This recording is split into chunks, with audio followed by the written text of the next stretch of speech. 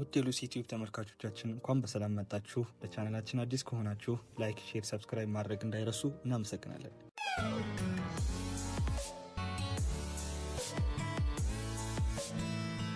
ቤላ በጣም ደስታ በተሞላ መንፈስ ጆን ለስጦታ ያመጣላትን ቦርሳ ታይና ውዴ በጣም እኮ ነው ስለ እኔ የምታስበው የምፈልገውን ቦርሳ አመጣህልኝ ትለዋለች። ጆንም የምፈልጊውን ሁላ ብሰጥሽ ደስታዬ ነው በማለት ይቀጥላል። ቤላም የቦርሳውን brand ታይና በንዴት ኬት ስፔድ ብላ ትጮኋለች። እናም የጠበቀችው ሉዊ ቪቶን ቦርሳ እንደነበረ ትናገራለች። እሱም አውቃለሁ ቤላ፣ ግን ያው ችግር ውስጥ ስላለው ነው። እናም ንግዴ ሲሳካልኝ የፈለግሽውን ቦርሳ እገዛለሁ፣ ብቻ በእኔ እምነት ይኑርሽ ይላታል። እሷም ታዲያ ይሄም ንግድ አልተሳካምና እኔ ይህን የማይረባ ቦርሳ ምለብስ እንዳይመስል፣ ለማንኛውም ርቦኛል እንውጣትልና ወደ ውጭ ለመብላት ይወጣሉ።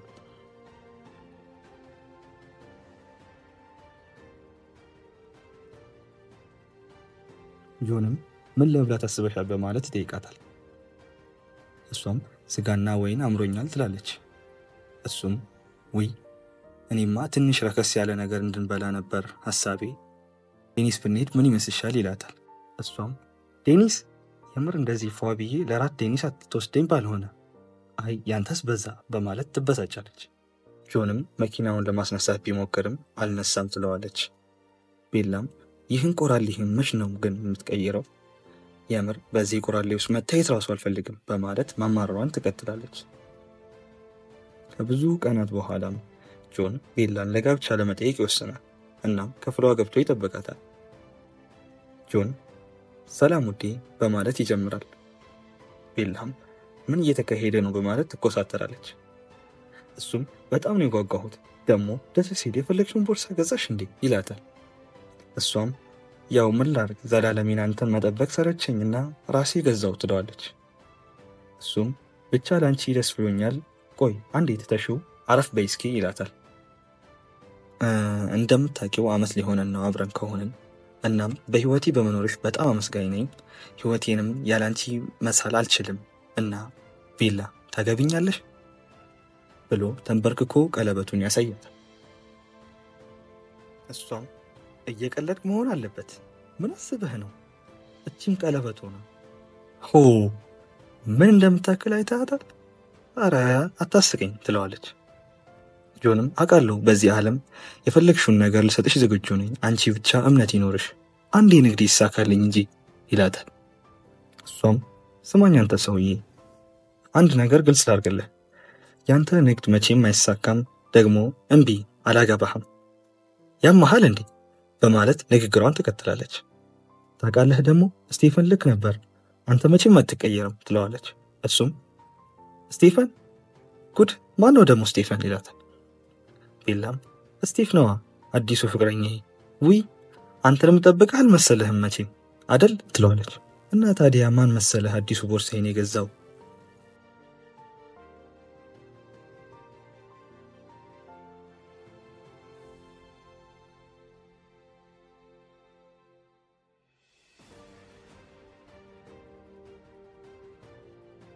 ጆንም አስከፊ የሆነ ሐዘን ውስጥ ገባ።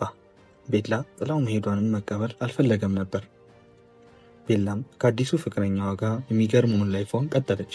በሌላ በኩል ጆን ከሐዘኑ ወጥቶ ትኩረቱ ወደ ንግዱ ማድረግ ጀመረ። በዛው አዲስ የተሻለ ሰው ገጠመው።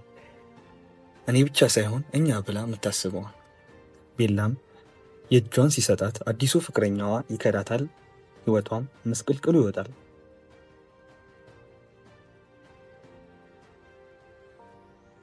የጆን ህይወት ደግሞ ስኬት በስኬት ሆኖ ሀብታም ይሆናል።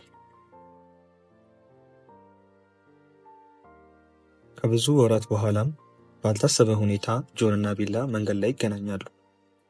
ቤላም ወይኔ ጆን እንዴት ነህ በማለት ሞቅ ባለ መልኩ ሰላም ትለዋለች። ጆንም ሰላም ቤላ እንዴት ነሽ ይላታል። እሷም ደግሞ በጣም ነው ያማረብህ ሉዊ ቦርሳ ነው አይደል? እሱም አዎ የሆነች ነገር ገዝቼ ደግሞ ኬት ስፔድ የምጠይ መስሎኝ ይላታል። እሷም ውያው የጓደኛዬ ነው በማለት ትመልሳለች። እና መኪና ያንተ ነው ትለዋለች። እሱም አዎ ታምራለች ይላታል። ቤላም ራው ደግሞ ስለ አንተ ማሰብ ማቆም አልቻልኩም ትለዋለች። እሱም አልገባኝም፣ ሀብታሙ ፍቅረኛሽ የት ሄዶ ነው ይላታል። ቤላም እ ያማ አሁን አልፏል። ታስታውሳለህ? ያ ልሰጠኝ ስለነበረው ቀለበት እያሰብኩ ነበርና ብላ ንግግሯን ሳትጨርስ የጆን አዲስ ፍቅረኛ ትመጣለች።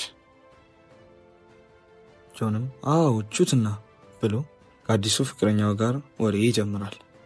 ከዛም ውይ ረሳው ይልና ቤላ እቺ ሮዝ ነች፣ ሮዝ ቤላ ትባላለች፣ የቀድሞ ፍቅረኛዬ ናት በማለት ያስተዋውቃቸዋል። ቤላም ውይ ሰላም፣ አዲስ ጓደኛ እንዳለ አላወቅኩም ነበር ትለዋለች። ሮዝም አይ እጮኛው ነኝ፣ ከሳምንት በፊት ነው ቀለበት ያደረገልኝ፣ ደስ አይልም ትልና ጆንም ቃል የገባውን የራት ግብዣ ሰዓቱ እንደደረሰ ታስታውሰዋለች። ጆንም አራው ደርሷል፣ ቤላ ስላየዎች ደስ ብሎኛል እና ቻው ብሎ ሊሄድ ሲል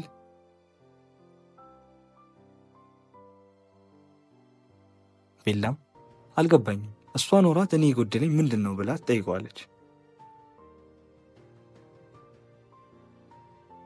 ጆንም ታያለሽ፣ አንቺ ለምን ደህና ቦርሳ አልሆነም ስትይ፣ እሷ ግን ለምን ትቸገራለህ ውዴ ነው የምትለው።